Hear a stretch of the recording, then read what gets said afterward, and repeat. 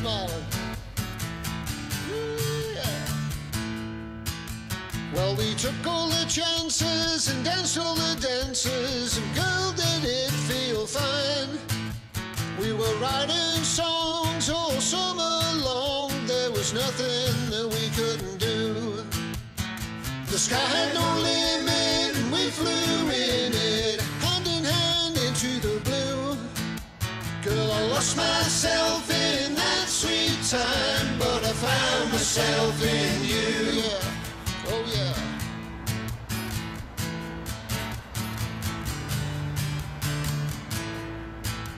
We had one ready rolled and a heart of gold was playing on the stereo.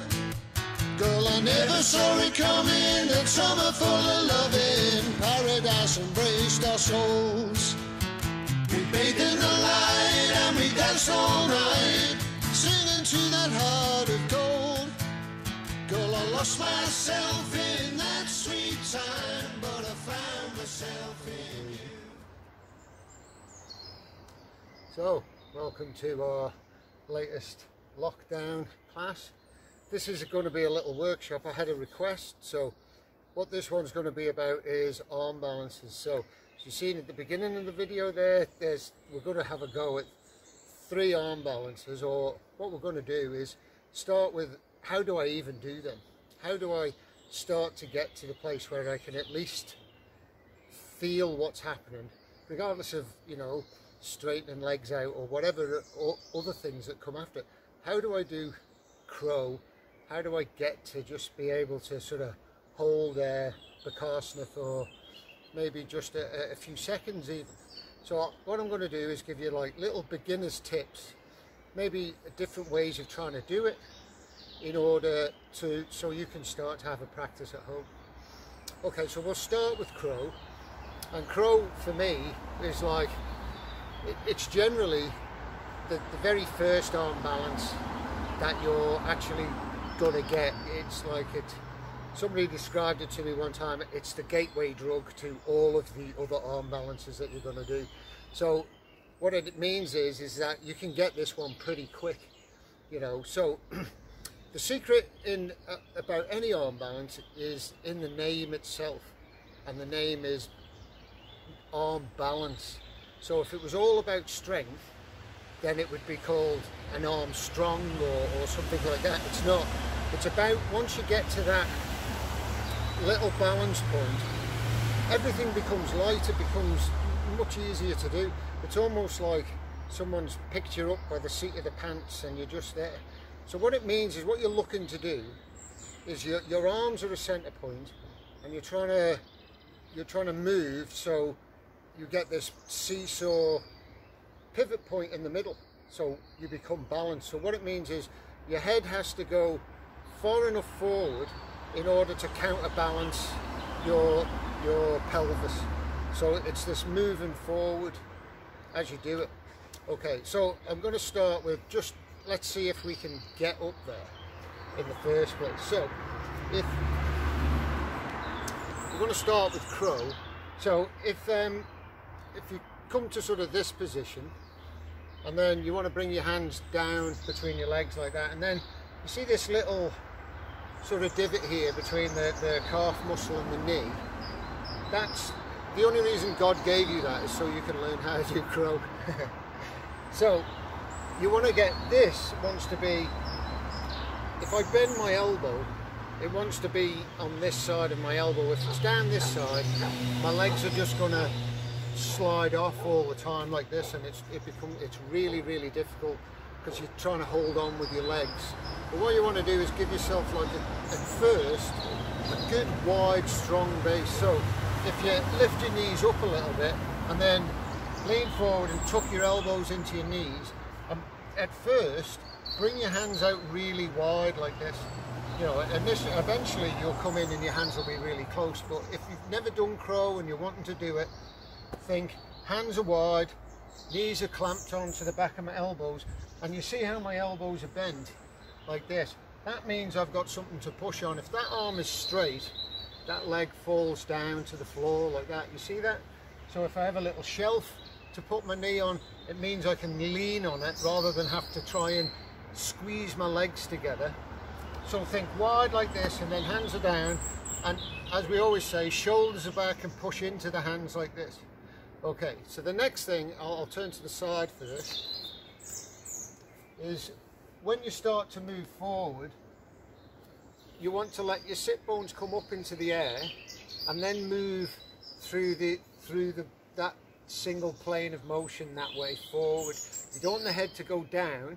It'll tip down a little bit, but not too much because if the head's going down, it'll make you tip forward. So what I mean by that is, you know, knees are high, your elbows are tucked in, hands are quite wide. So if you're facing the length of your mat, hands are at least the width of your mat apart. And then draw them in as much as you can until it lifts your knees. And then as you lift your bum, start to move forward like this. And then you'll be able to lift one foot up and then the other foot up like this. So don't worry if your feet are like this, that's okay. Just try and get that place where you're balanced. But if you put your head down like this, it's going to make you tip forward onto your head like that. So think, you're not looking down, you want to be looking ahead of your hands like that. Elbows are tucked in, hands are down, shoulders are back, pushing into my hands, and I'm looking forward. You see where I'm looking? My drishti is up here, not down here.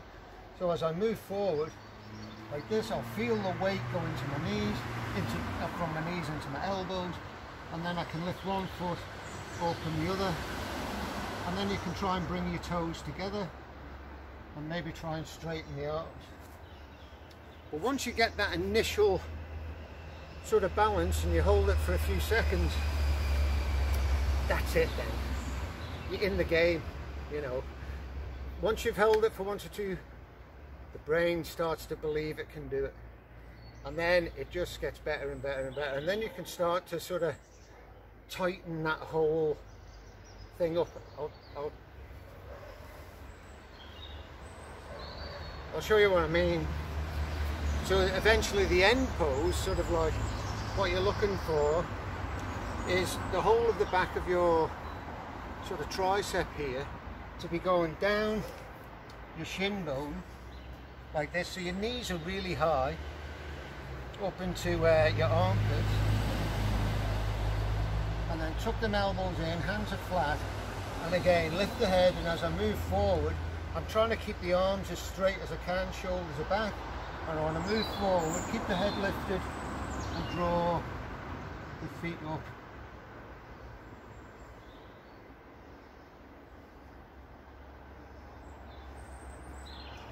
And there you go, there's your crow.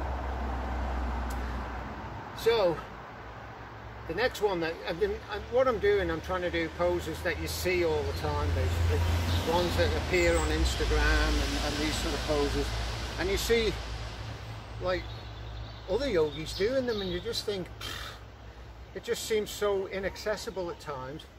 But really all it is is, is, is a bit of practice and, and when you're doing these, I mean, don't forget I'm teaching you like you're doing this practice at home in your garden or, or you know, in a, in a living room.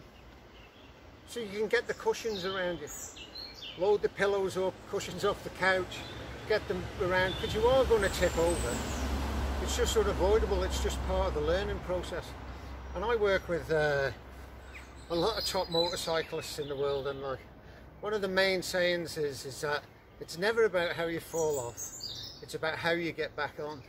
And that makes all the difference. You can fall over a hundred times, but if you get frightened, then you're never going to break through that and get that pose. But all these poses are available to, to anybody, you know, you don't have to have big muscles. You just have to get to that point where you're tipping forward. So if you've got to sort of here and you're thinking, my feet won't come up off the floor, they just won't come up.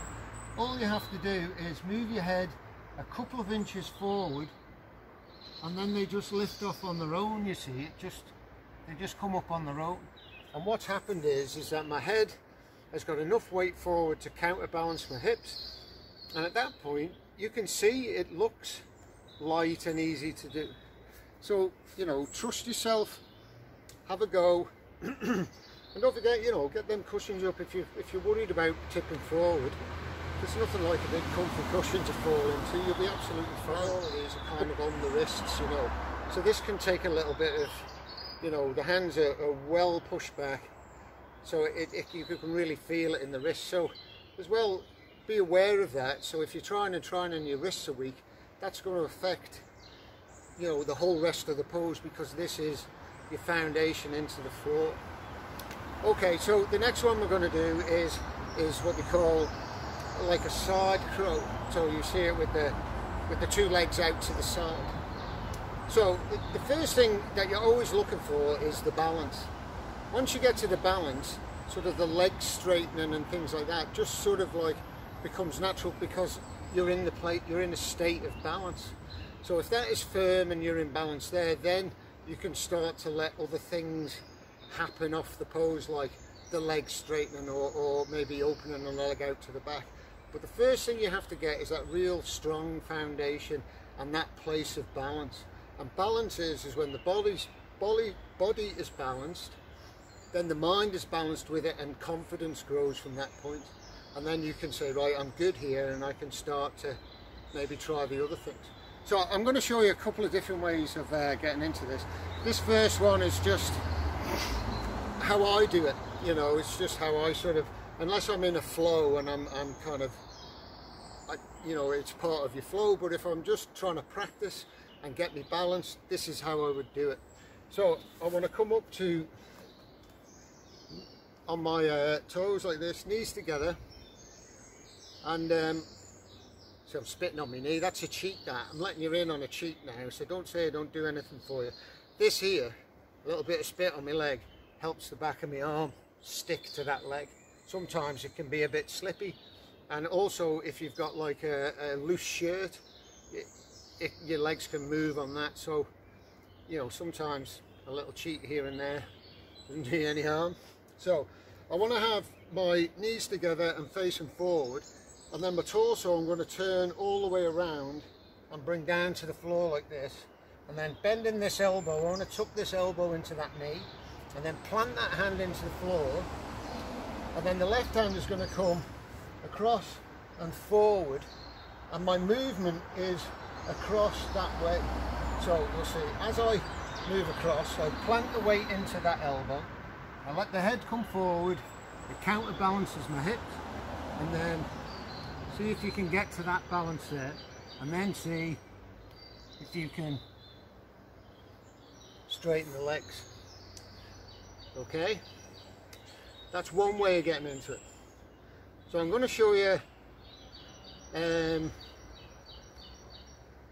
another way of getting into this pose that uh, a friend of mine uh, showed me uh, Dave Sykes who himself is a great yoga teacher I think he teaches in Carrefour Gym. So if you're about there, check him out, goes classes. Great guy, great energy. He's also like a really top martial artist. So he's got a lot to share. And like, this is one of the things he shared with me about uh, 10 years ago. And I teach it still. I still share his, uh, this way of getting into it because you can do it from um, when you're in your practice. It's uh, So he'll start, you know, from this twist here. So you'll be doing this twist or it sometimes looks like this. Okay. And then he'll bend that leg and then tuck this elbow into the knee, bring the hand over and then lift up and into it from there. So sometimes I love that. I mean, I really love it because once you're there, you can open the legs and, and you just come back to seated and you're into the twist on the other side so it really fits in to to it to your own flow if you like into your own asana practice. If you find yourself sat on the floor and you're doing that twist you think this is an ideal opportunity for me to lift into that balance and just come nicely back down to a seated position do the twist on the other side and then you've got the option of that arm balance on the other side. So you know I'm thank you David if you're uh, if you happen to be watching. I uh, that was uh, I remember at the time I was kind of like at the very very beginning of my yoga journey and like so all of these little tips that I picked up from all of these teachers that I met. I mean, Dave's a friend of mine from school. We've known each other since I think Murray's Road School, which God, I think we're about eight or nine years old there. So it's a long uh, friendship that we've had, and funny how we've both ended up teaching yoga and doing things like this. But like, yeah, check him out, and uh, you'll love his classes. He, he has like a really good flow to his classes. So yeah, check him out. So the next class that we're uh, pose we're going to do is a pose called Tittibhasana or Firefly. So this is another one that you, you see a lot, you know, and it, it really does look really nice, you know, when, when it's an aesthetically nice pose to look at, you know. That's what I can say about it. And when you actually get it, the sense of achievement is there as well. But it's not an easy one at all because it takes a lot of this drawing down through the shoulders to create sort of space for yourself. Okay, so we're going to start with, if you start with your feet sort of hip distance apart, and then bend down and see if you can bring your hands between your legs, kind of like this, and then you want to tuck your elbows underneath your knees like this. Okay, so you can see I'm trying to sort of tuck that elbow underneath the knee. And then as you do that, see if you can bring your hands out really, really wide. Yeah. And then you want to let your sit bones come down towards the floor. And as you do that, you'll feel how the leg clamps onto the back of the arm. So then, as you let the your sit bones come down to the floor and you lift your head, one foot will come off the floor at a time and then you can try and bring your toes together and then you can try and straighten the legs out to the side and come down. Do you see how that works? Wide arms, elbows tucked in and then the more you sort of get the balance point you can start to bring the hands a little bit closer together, a little bit closer together until eventually you're really pushing down through the hands. But the initial thing to get is the balance. Because if you can get the balance, you realize that yes, there's a little bit of strength involved. I'm not going to tell fibs. But at the same time, you don't have to be Arnold Schwarzenegger to do these things. when I started, I remember doing uh, my first teacher training and we were all going away and there was a girl next to me, Kathy, who was heavily pregnant. And she's a slight, I mean she's a beautiful girl, slight but pregnant, she had this big tummy on her and she was doing these arm balances and I couldn't get near them. And you know I, my arms are probably twice the thickness of hers. So it's not really about strength it's about balance. Everything's about balance. Life is about balance. Emotions are about balance.